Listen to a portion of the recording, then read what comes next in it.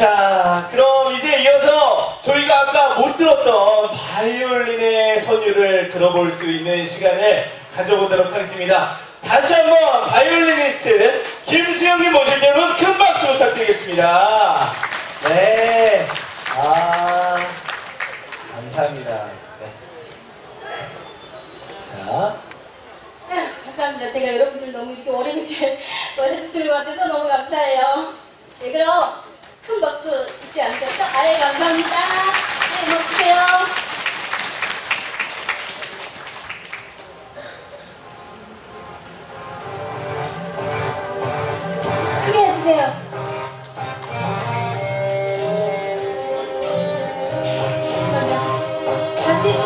다시 처음부터 다시 할게요.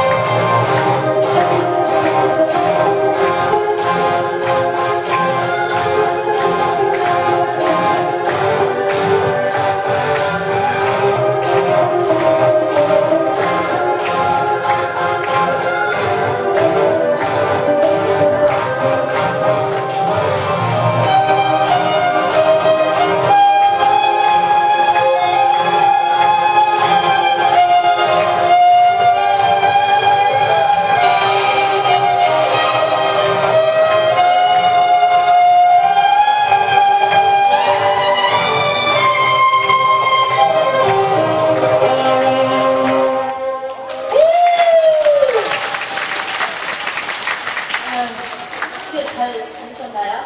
네. 감사합니다. 안 들리셨어요? 아, 이번엔 좀 예말 조금 더 크게 좀 부탁드릴게요. 네, 어떻게 한번더 할까요? 할까요? 어, 감사합니다. 앵콜, 앵콜, 앵콜, 앵콜, 감사합니다. 앵콜. 아, 제가 그래서 감사합니다. 그래서 그런 의미로 제가 원래는 좀 빠른 곡을 준비를 했었는데 어, 아버지라는 곡으로 좀 갑자기 제가 바꿨거든요. 그래서 인션이 가수분의 그 아버지라는 곡을 들려드리도록 하겠습니다.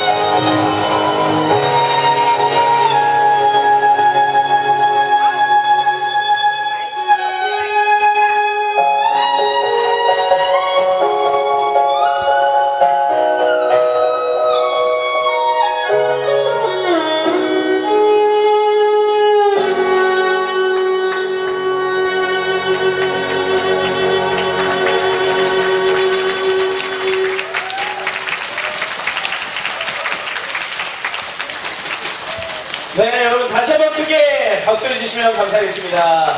지금까지 바이올리니스트 김수영님이었습니다. 큰 박수 부탁드릴게요. 네, 감사합니다.